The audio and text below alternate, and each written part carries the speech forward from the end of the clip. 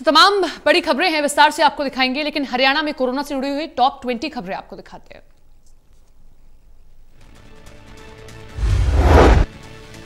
हरियाणा में कोरोना का कहर, प्रदेश में एक सौ तिरपन लोग संक्रमित, अभी तक 18 लोग हो चुके हैं ठीक, तीन की मौत। नू में कोरोना के सबसे ज़्यादा मामले आए सामने, अड़तीस लोग वायरस से संक्रमित। गुरुग्राम में कोरोना के 32 केस, वहीं पलवल, फरीदाबाद में 28 केसेस आए सामने। मिला कोरोना का दूसरा पॉजिटिव केस। मदनी मदरसे में 9 साल का बच्चा संक्रमित। महादेव कॉलोनी में ही बासठ साल का एक शख्स मिला था संक्रमित। अब दूसरा केस मिलने से शहर में भय का माहौल। पुलिस आईजी हरदीप दून ने इलाके का किया दौरा। कोरोना महामारी से लड़ने के लिए भारतीय रेल फिर आया आगे। यमुनानगर की जगाधरी रेलवे वर्कशॉप में तैयार की जा रही है पीपीई किट।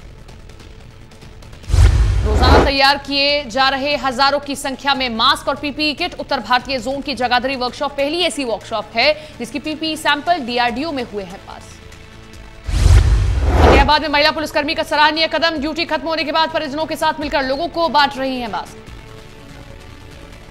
पुलिस के जवानों के साथ साथ आमजन को भी बांट रही है मास्क। अब तक सैकड़ों वाहन चालकों, रेडी वालों, सफ़ाई कर्मियों, स्वास्थ्य कर्मियों को दे चुकी है मास्क। रेवाड़ी के लिसाना पॉलिटेक्निकल पे बनी एक सैनिटाइजर हट। मैकेनिकल और इलेक्ट्रॉनिक विंग ने मिलकर की तैयार। सचिवालय और अस्पताल समेत चार जगहों पर लगाई गई है हट। पंद्रह हज़ार की लागत से मात्र पाँच घंटे में तैयार की गई है ये सैनिटाइजर हट। पूरा शरीर और हाथ ऑटोमेटिक तरीके से होंगे सैनिटाइज। रोहतक में कोरोना को लेकर एहतियात बरत रहे हैं लोग। लॉकडाउन का सख्ती से पालन कर रहे हैं। ग्रामीण सुरक्षा के मद्देनजर पहरेदारी कर रहे युवा। बाहर से आने वाले किसी भी शख्स की गाँव में एंट्री नहीं है। ग्रामीणों ने ही गाँव को पूरी तरह से सील कर दिया है।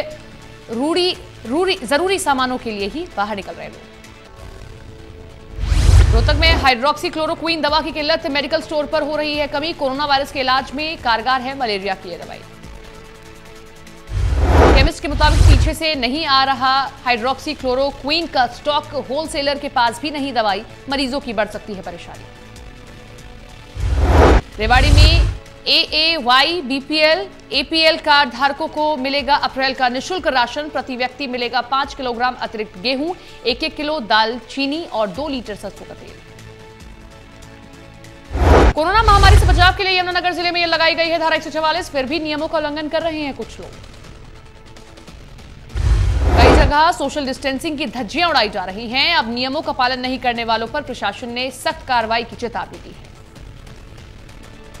लॉकडाउन में हो रही शराब की अवैध तस्करी, नारनौंद पुलिस ने राजथल में छापा मारकर लोगों के घरों में बरामद की भारी मात्रा में शराब।